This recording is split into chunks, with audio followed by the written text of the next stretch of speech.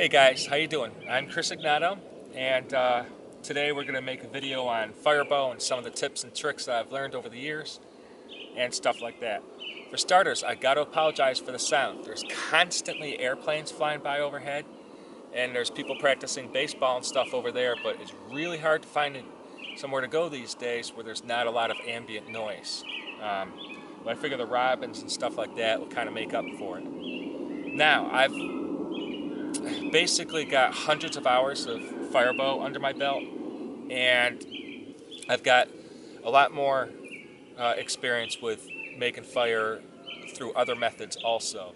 And over the years, I've actually met a lot of cool people. I've stumbled upon some awesome techniques and just experimented a lot and come up with a lot of good tips. Okay.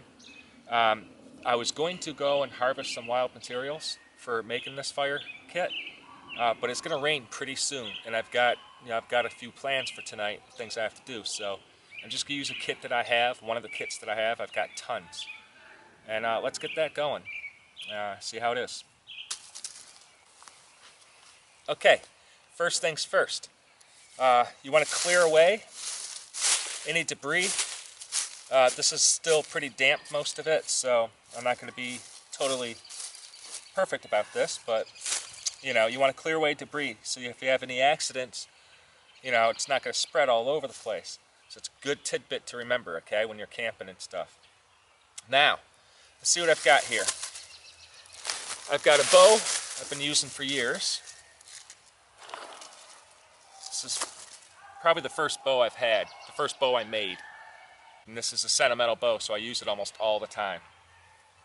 Um, I got a nice piece of leather thong here. Uh, it's real thick, it won't snap, but you can use all sorts of things. Uh, one time I even used the hem of a shirt. Um, I also keep leather bracelets and cordage around my wrists and ankles all the time.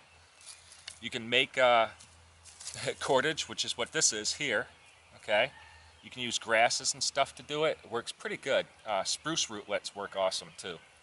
So this is a so a skill that you need to learn if you're into survival or anything like that, or just in general, making cordage is a great skill to have, and you can really improvise a lot of fixes for things if you can make string. Really good stuff. Now, let's see. I've got fireboard here, and I've got it prepped. Um, this is some good stuff, okay? This is probably white pine. Yeah, this was a white pine. So I'm going to use that use a piece of leather underneath it so I don't suck moisture out of the ground. Once I start building that heat, it's going to suck the moisture up. Okay, you don't want that. So I'm going to put something between my fire board and the ground. Okay, now if you look here, there's the, the part I burned in, the, the diameter of my spindle. Okay, which is good to have it, you know, 8 to 12 inches, but I usually like around 7 inches, 8 inches for my spindle length. I like to have it about half to three quarters of an inch thick. Works pretty good. And then I cut the notch. The notch is crucial. Okay, you can build a fire without it, but it's way easier with this notch. It gives a place for the sawdust and powder to collect. You build up that friction, you're going to get a lot of powder, and it's going to get really hot, like 800 degrees hot, and turn into an ember. If it's too small, there won't be enough oxygen in there, and it can get stuck. If it's too big, it won't produce enough heat. So I like it uh, probably an eighth of my circle. Um, sometimes I've gone as big as a quarter, but around an eighth to uh, a sixth of a, the diameter is pretty good for me. Everything's a little different. And you can use a stone. I'll probably show some techniques with that, carving using stones and stuff. You can almost always find some kind of stone to carve a notch out of. Um, that's good skill to have, good practice. If you know how to do firebow and all that stuff, practice using stones and things like that, okay? To carve it. Now, I gotta get my spindle. As you can tell, I've used these a lot. These two are yucca. Um, sometimes I love to use willow on willow because it smells nice and sweet. When you get that going, it's just kind of awesome. Um, right now I'm using yucca on white pine. But it's up to you what you want to use, okay? You can vary it. So, and I need a handhold. Often you can use a piece of wood. Yeah, that's a bearing block. It's something to push down on the spindle with. Okay, so you can have that friction. when you're pulling back and forth with the bowstring. Um, this one's bone. Uh, it's supposed to be uh, from a bison, but looks suspiciously like a cow to me. And uh, I have that. I have some marble. I have some jasper. I even used a shot glass once. I have some wooden ones. So, yeah, I'll see what I've got. Probably going to use one of these too. Might even use this marble one I've got. This wasn't made for firebow, but that's what I use it for. Um, I don't seem to have my wooden one in here. And I have a bunch of tinder. Okay, tinder's pretty important. You need your tinder. You need to have that set up ahead of time if you can help it. Because once you get the fire going, you should have your fire structure already built. So once you get that fire, you can put it right into the door, the opening that you left, and all your twigs and sticks will start to ignite. Then you got to nurse that thing into life, you know? So uh, now you want to wrap your spindle around the, your string around the spindle. The way I do it is I put it in between my bow and my string. I have the top end pointing down at the ground, grab it with my thumb. I turn it so that the spindle is on the outside of the string. Okay? Let me show you that again. I put it in here, grab my thumb or finger, right? Put it in, grab the string, and I turn it. So it's in there nice and neat. Okay? You want to make sure it's tight. When it's not tight, it slips. You're wasting energy.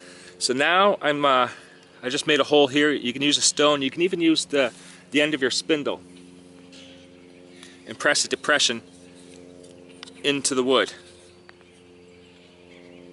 Okay? And just start carving around that.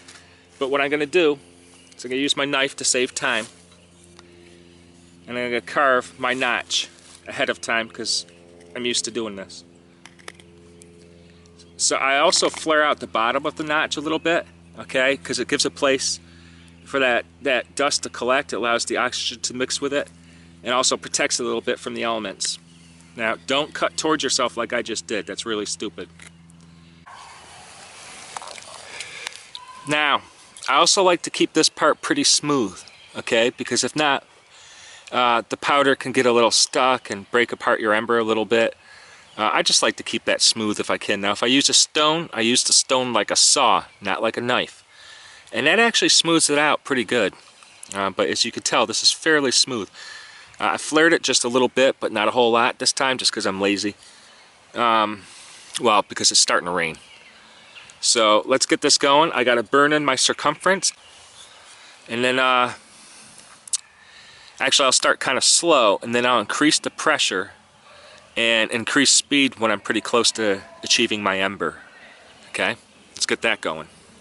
So, let me take some of my tinder. I'm going to tuck it into the notch to, to help collect some of that powder, speed things up a bit for me.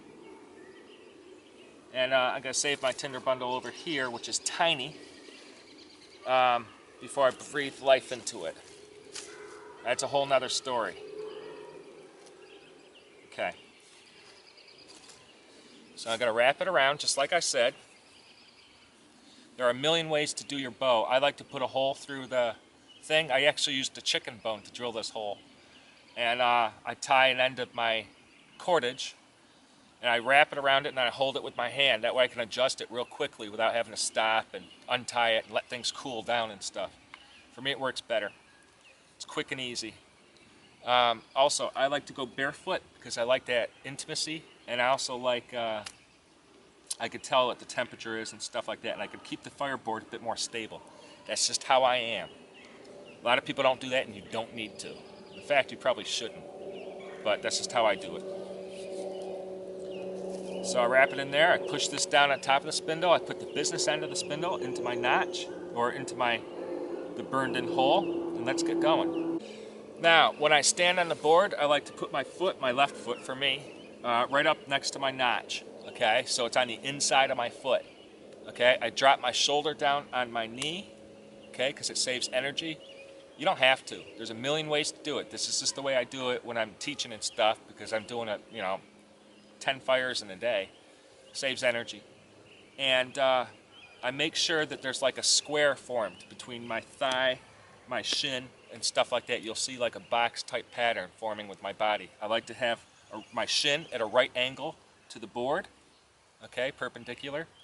Um, because if you lean too far forward or backwards, it can tilt your spindle, and then you're wasting energy that way too. It can migrate your, your notch or your spindle. So uh, all that's pretty important too. A nice straight up and down, perpendicular to the ground, 90 degree angle. Push down on it, drop my, your shoulder onto your knee. That helps. You don't have to really focus on looking at the ember. When you look at it and focus on it like that, that also causes you to change your angles and it's not as good. Just have faith. You keep going. When you think you're almost there, keep going farther, okay? Uh, until you know you have an ember. It just makes things easier.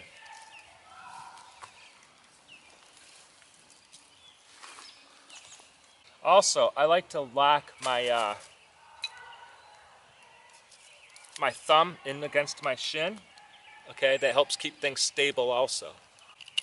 Make sure that the end of your spindle is nice and rough for friction. If it's too smooth, you can either push harder to break that glaze or uh, sharpen it. Never set your knife on the ground because that's a good way to lose it or get injured. Trust me. The spindle's real short.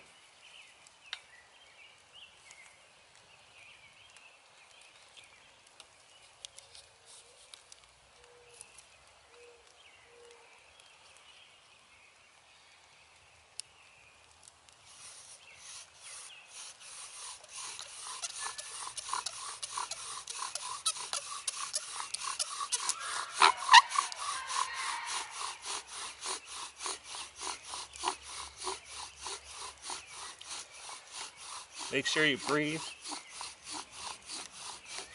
Try to keep the bow level with the ground.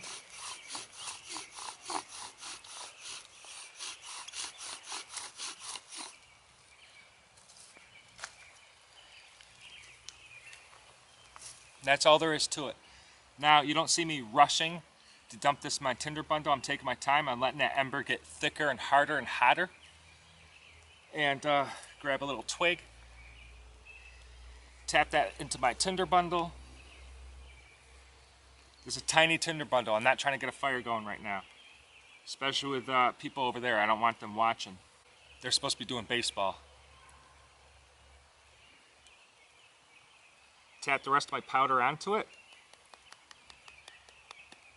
Nice dark brown, not black, because that's be burned too much. If it comes out light or tan, you're not getting enough heat or you're not pushing hard enough.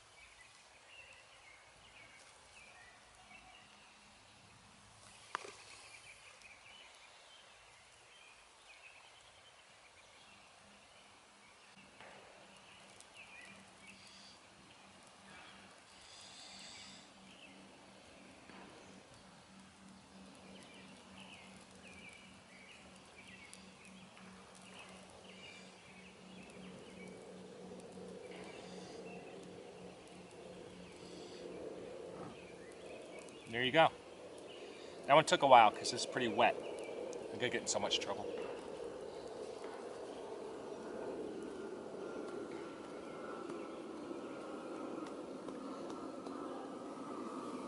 So, maybe I'll add some other videos to this and make a montage, but the rain's starting, the airplanes are going. Coach over there is watching me. The woods are filled with smoke. Yeah. Okay, let me show you some of my kit. For starters, this is a turtle pouch I use. I got this off of uh, James Two Bears. Pretty cool stuff. I love this thing. Stamping turtle. You know, I rescue turtles and I love turtles, okay? Um, but uh, I don't condone the injuring of any animals or anything like that unless you're in a survival situation and you better use all of it.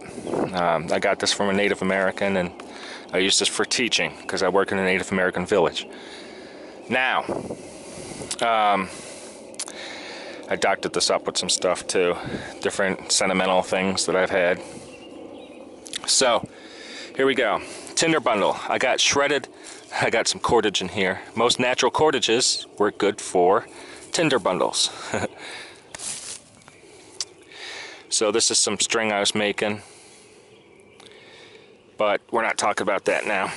Uh, this is shredded tulip poplar, some cattail fluff, some cedar. I have a lot of red cedar uh, bark, outer bark and inner bark shredded up, put in here. I have the tulip poplar. I have all sorts of stuff, quite honestly. Okay, including basswood. Now, my spindle, this is one of the stones, one of the pieces of flint I use for carving my notches. Let's see if I can show you that real quick.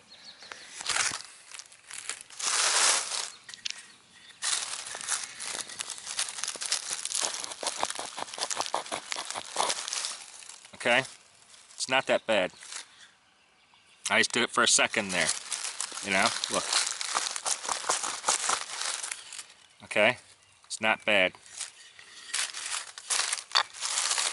Uh, this is the uh, jasper, or uh, actually marble that I'm using, Pakistan marble I believe, that I'm using for a handhold today. I have my bone here. I have my wooden ones at home, which I left at home.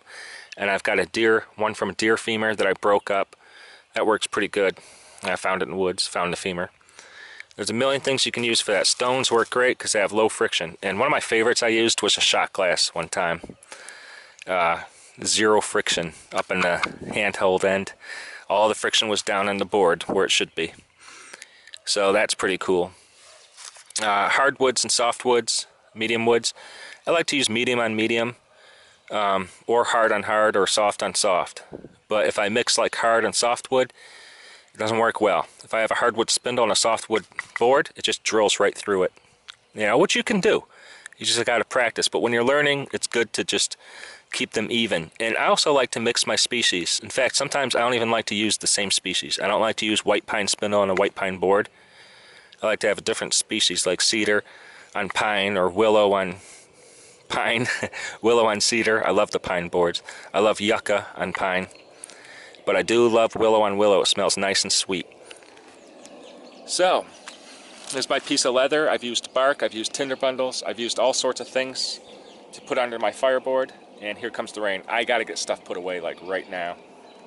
So, look how thick these spindles are. About as, this one's not as thick as my finger. I started off with real thick spindles, like a lot, you know, thicker than my thumb. I figured it would be easier once I went down to thinner spindles, and it was. So keep that in mind.